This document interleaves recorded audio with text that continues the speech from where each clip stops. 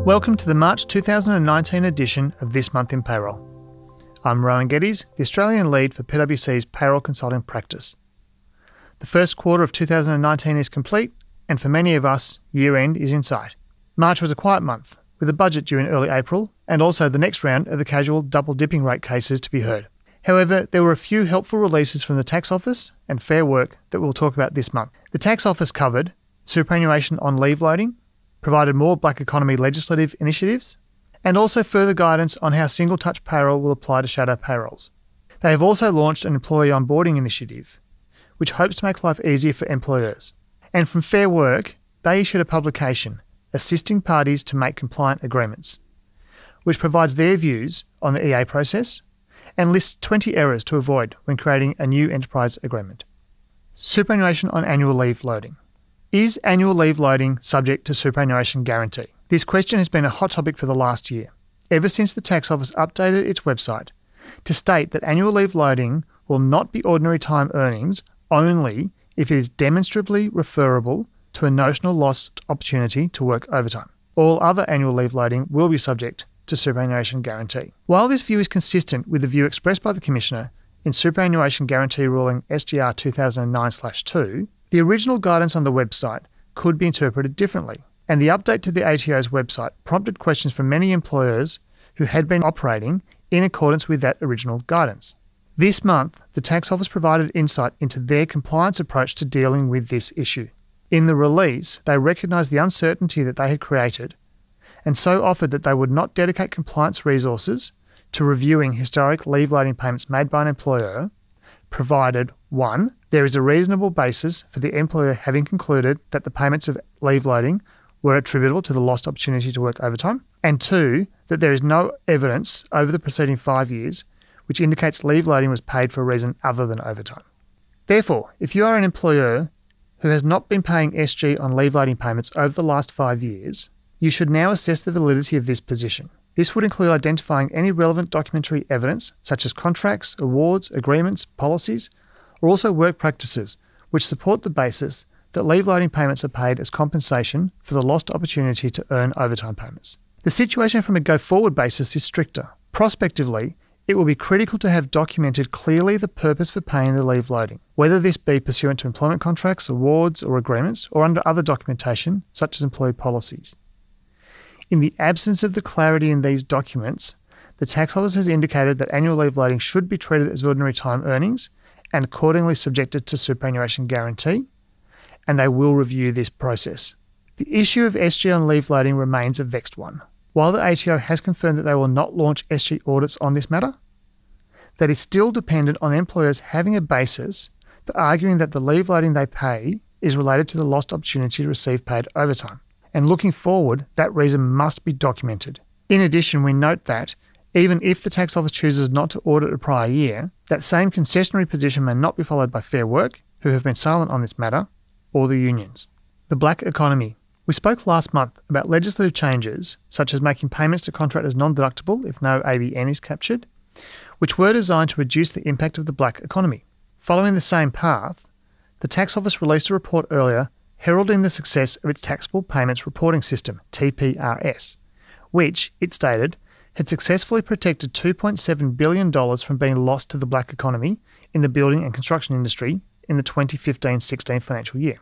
Businesses in building and construction are required to lodge a TPRS annual report each year on any payments to contractors and subcontractors within the industry.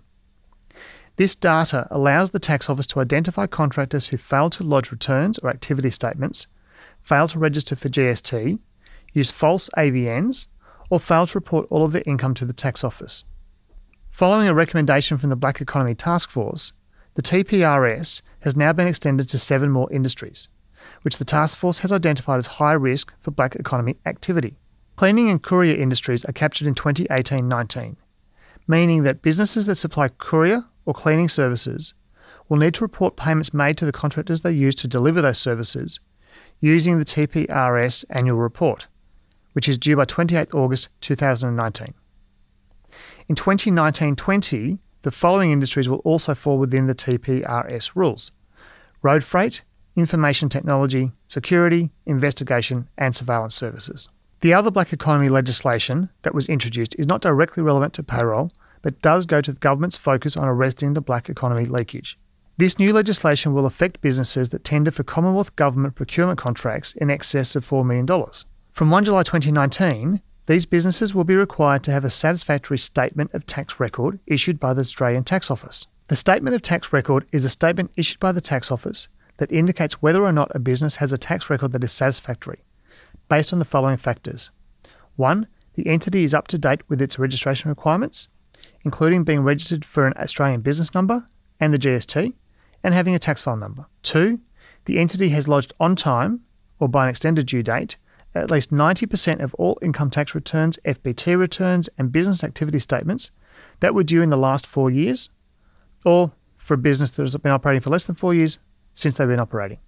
And three, on the date that the statement of tax record is issued, the entity does not have $10,000 or more in overdue debt due to the tax office, excluding debt subject to a taxation objection, review, or appeal. Single touch payroll obligations for shadow payrolls. Last month, I provided an update about the single touch payroll reporting obligations for expatriate employees. As mentioned, we have been seeking clarity from the tax office on a number of matters, such as the impact of an employer being unable to collate and calculate the foreign payroll information required within the extended one month due date. Coming out of those discussions, we can advise that the tax office is considering whether a longer transitional deferral is appropriate for all employers for the FY20 year. It is also noted that there will be the opportunity, in exceptional circumstances, for an employer to make an application to the tax office if additional time is required beyond the automatic deferral. In addition, there is likely to be an automatic deferral until 14 August for lodgements of the finalisation report for shadow payrolls. Automated employee commencement. As the tax office continues to digitise its activities, one welcome move is that some employee commencement forms have now been made available online to help streamline the onboarding process for employees and employers. The online forms are tax file number declaration, superannuation standard choice, withholding declaration, and Medicare levy variation declarations.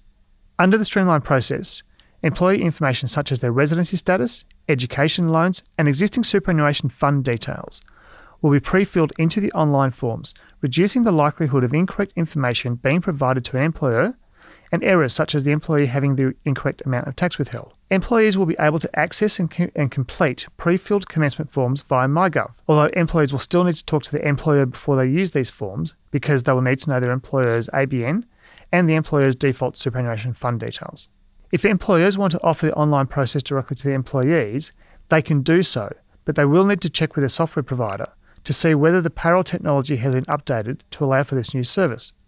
The tax office has made the specifications available for software developers to build the service into their system. However, the process is not completely online. Once the forms are complete, employers will still need to print them and provide them to their employer so that the employer can enter the information into their system and keep a copy of the form for their records. On the positive side, at least employers do not need to send the printed forms off to the ATO.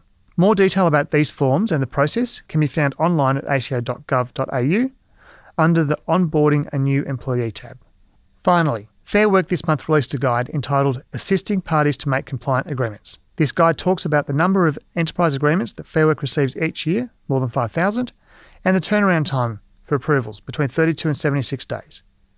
It also highlights some of the common defects found in enterprise agreements including annual leave entitlements being expressed in hours or days rather than weeks, and equating to less than the required amount of leave, e.g., four weeks of paid annual leave.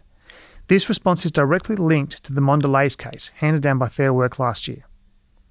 Secondly, the agreement not providing for carers leave for casual employees. Casual employees are entitled to two days unpaid carers leave. Third, the agreement listing all public holidays, but then not including public holidays in other states and territories. And tellingly, fourth, the inclusion of loaded rates of pay without being able to adequately show that the loaded rate will be sufficient to pass the better off overall test. Enterprise agreements with loaded rates has been one of the common sources of remediation cases that we have supported employers with in recent times. So, finding this as a common error in negotiating new agreements is something that is expected. And that's it for this month in payroll. I hope you find our updates a valuable way for staying up to date with changes impacting payroll. If you have any questions, you can find information on our website, pwc.com.au forward slash payroll, or email me at rowan.geddes at pwc.com, or message me via LinkedIn. Thanks very much. Have a great month.